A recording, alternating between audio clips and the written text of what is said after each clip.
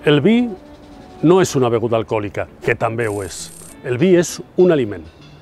Els antics prenien el vi sempre que podien, però el vi pot emborratxar i no era aquest el seu objectiu. Els antics sempre, els grecs i els romans, sempre el vi lo prenien barrejat amb aigua i d'aquesta forma es convertia en un element de relació. Els vins grecs eren vins dolços, molt apreciats, però els romans valoraven sobretot el vi de Faler. Aquest era el millor vi. En una de les tavernes de Pompeia, la tavernera Edoné va, deixar, va posar aquest anunci a la gent que freqüentava el local. Aquí beuràs vi per un as, per dos ases beuràs millor, per quatre ases beuràs Faler. El vi de Faler era el més apreciat. També a Tarragona feien vi. Tota Catalunya té, era una zona productora de vi que anava cap a Roma, cap a la Gàlia o cap a la Germània. El vi és el primer gran producte que va exportar Catalunya a l'antiguitat.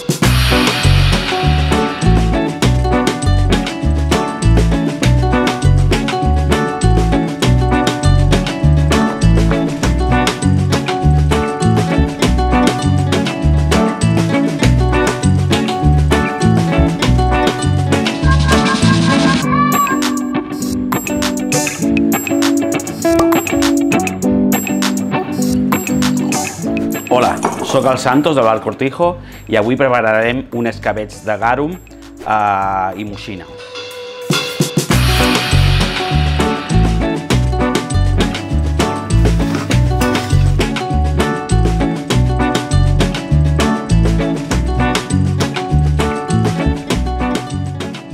Aquí tenim la moixina, que és un peix que se captura aquí al Mediterrani. Eh, tenim les verdures, fonoll, ceba, all, pastanaga, tenim la sal, la pebre, que s'utilitzava molt, el garum, que és una salsa de peix fermentat amb herbes, tenim el llorer, la sajorida, la farigola i la mel.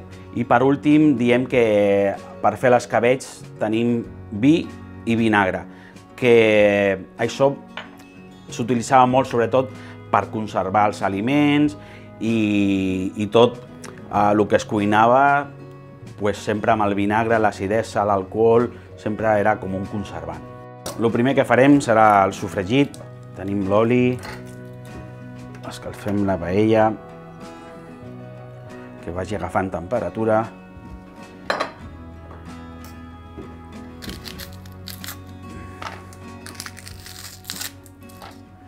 Farem la ceba, com va ensenyar ma mare.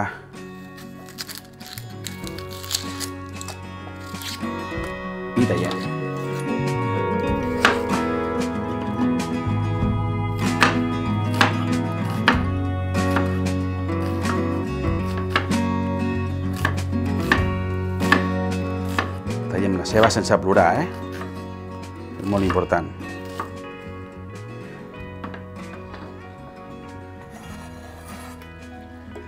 Vinga, que comenci a rostir això.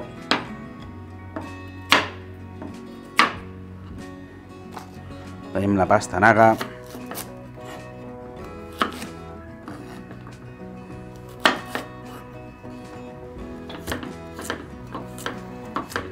A daus, es vegi també la verdura.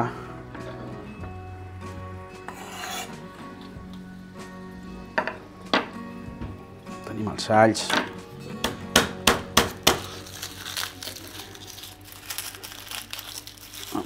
Els posem així, tallats per la meitat.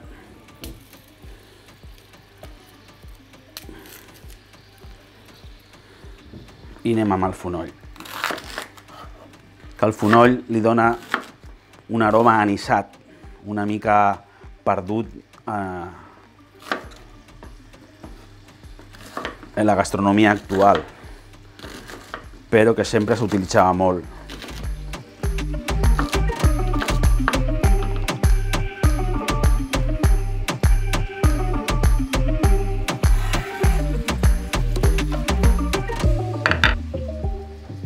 Fiquem les herbes.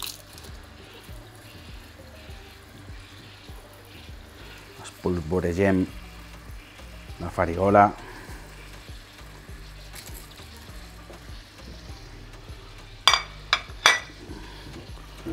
Sal. que ve de la paraula salario, pebre, una mica picant, feia de conservant també.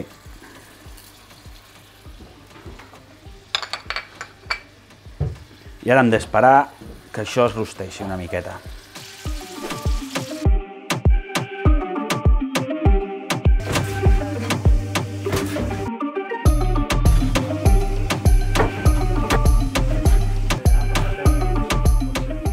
pues, bueno, han passat uns minutets i hem rostit una mica les verdures. Estan ja una mica dauradetes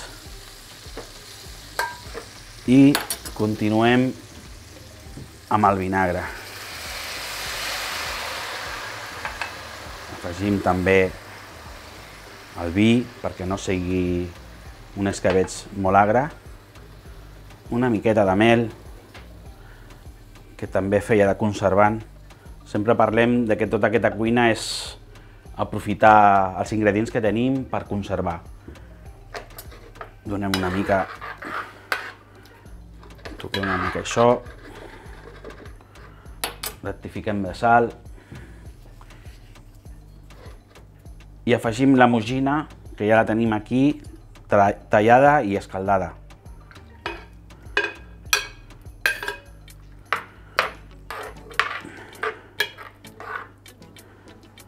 que agafi ben tots els sabors, les herbes...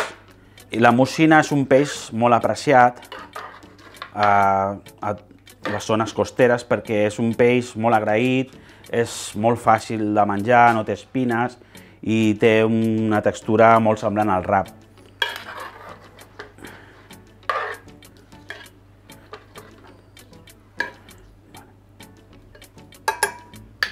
I per últim afegirem el famós garum que s'utilitzava en quasi, tots, en quasi totes les receptes i era com un potenciador del seu del sabor.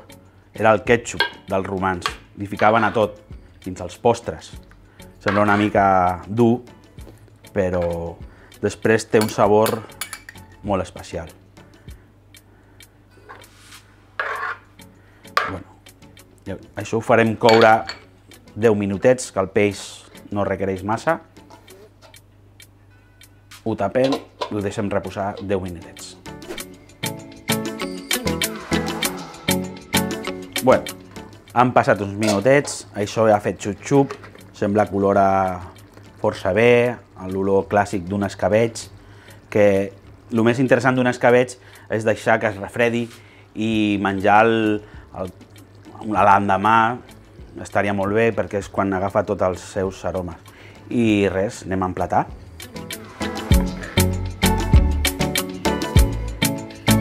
Important que hi hagi una miqueta de verdura, dels alls, del peix. I res, i a disfrutar.